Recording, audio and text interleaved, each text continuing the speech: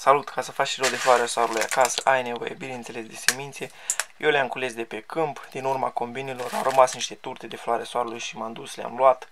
Am strâns cam o găleată de semințe, iar acum am cu ce pescuit toată vara, pot să spun. Așa că hai să-ți arăt și ție cum să faci și rotul de floare soarelui ca să fie excelent pentru pescuit și să dea o aromă nadei sau mămăligii, depinde în ce pui tu, o aromă extraordinară care va atrage cu siguranță peștii. Pentru început, curățiți bine sâmburii, apoi puneți-i într-o tavă la copt. Hai să vă arăt cum se face. Am pus semințele pe o tavă, aveți grijă să le întoarceți pe o parte și pe alta, deoarece se vor arde.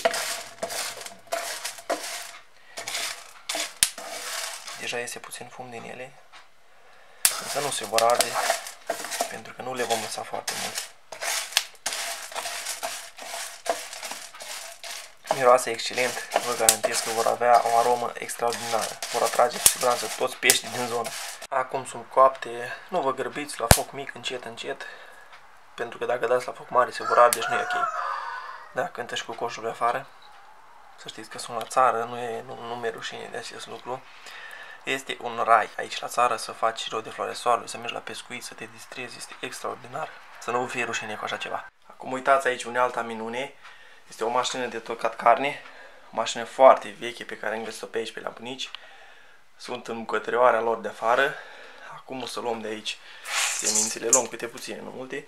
Le punem aici în mașina de tocat carne foarte veche și facem această manevră extraordinară. Dăm la coarbă aici. Aveți grijă să tot puneți semințe ca să ne iese și rotul foarte mărunțit nu așa întreg cum am și la început.